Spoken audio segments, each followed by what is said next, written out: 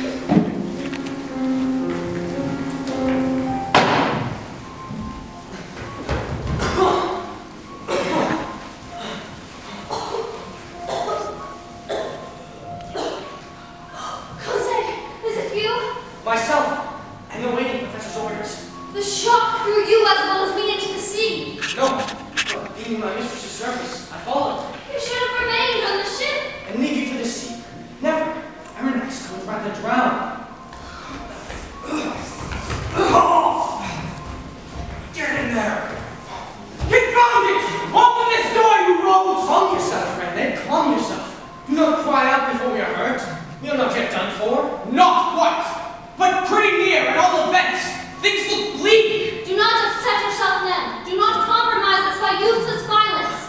Who knows that they will not try to stop us or find out where we are? We are within your machine, or rather, beast. Machine? Yes. I was too thrown by the shock, but more fortunate than you.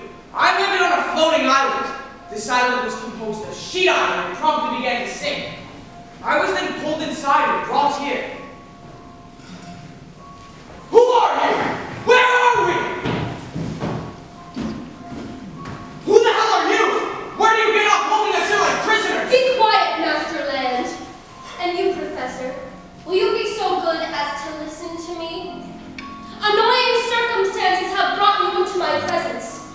You have come to trouble my existence. Unintentionally. Unintentionally? Was it unintentionally that your ship, the Abraham me all over the seas?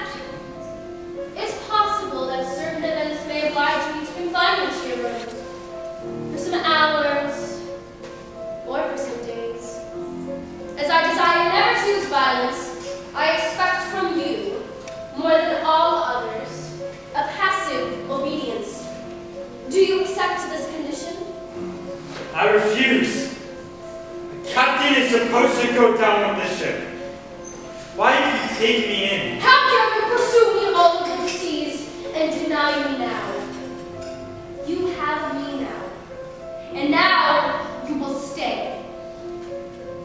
I wish to be with my men. I refuse to stay here. Very well. Steward, take Captain Farragut to the top of the Nautilus, and let him find his way to his men. But he will drown, sir. Captain Farragut, no! Why would you choose this? Just stay here with us, so you accept. Never will I give my word to try not to escape. I didn't ask for your word. You give us the choice between life and death. Yes. I will ask your permission to address one question. Professor, please be careful. Speak. You said that we would be free on board. Entirely. What does that mean? To go, to come, to see, to observe, even all that passes here, save under rare circumstances. This sounds merely like the freedom of a prisoner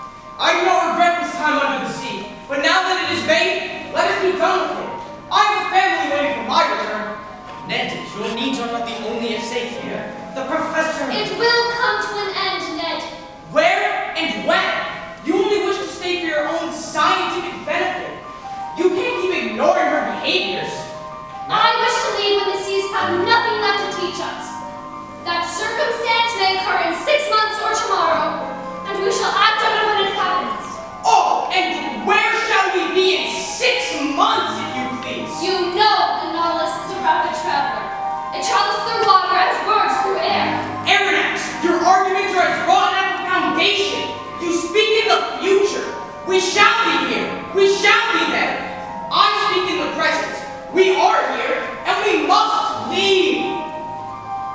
Now let's suppose an impossibility. Say this day should Captain Nemo offer you your liberty? Would you accept it? I do not know. I mean, Ned, how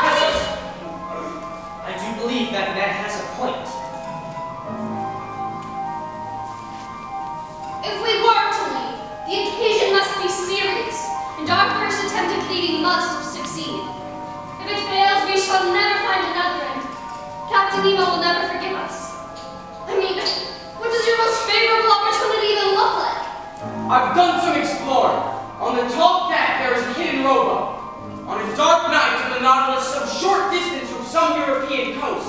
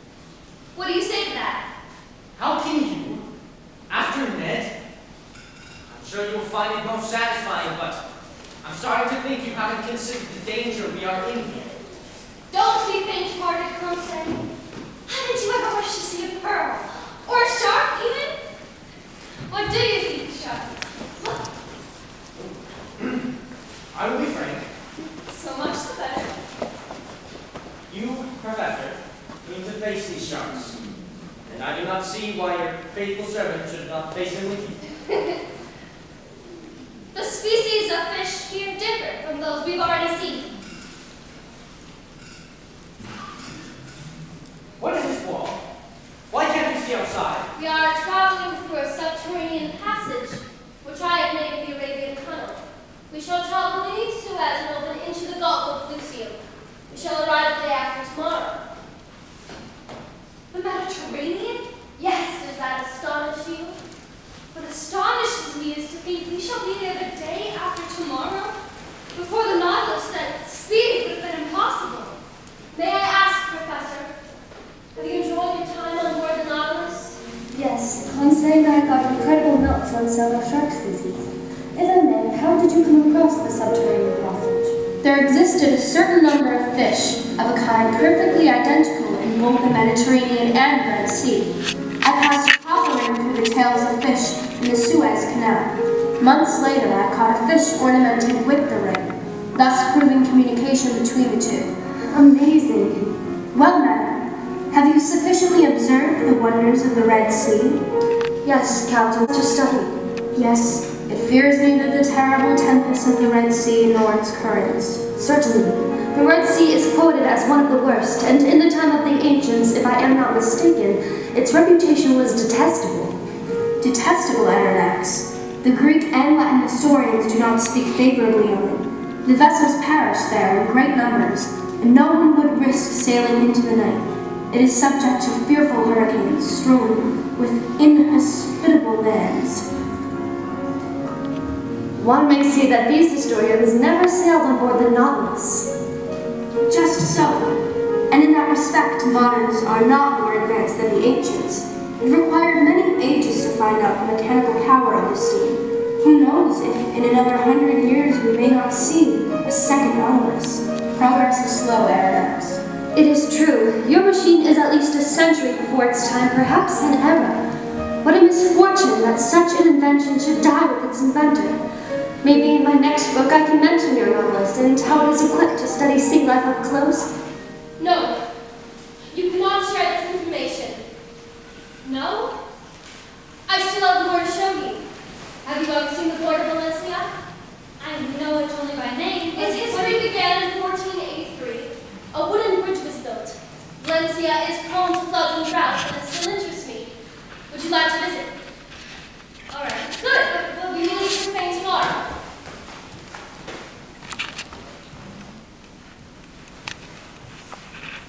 Nemo has shown me some of the greatest depths of the ocean and taught me more than I ever thought possible. However, at times I find her frightening. Should I remain on board the Nautilus, knowing all she has done?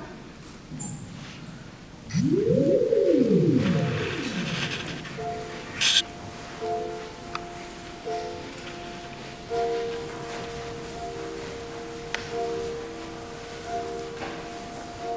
many men are aboard do you think? Well, I cannot tell, my friend. I would say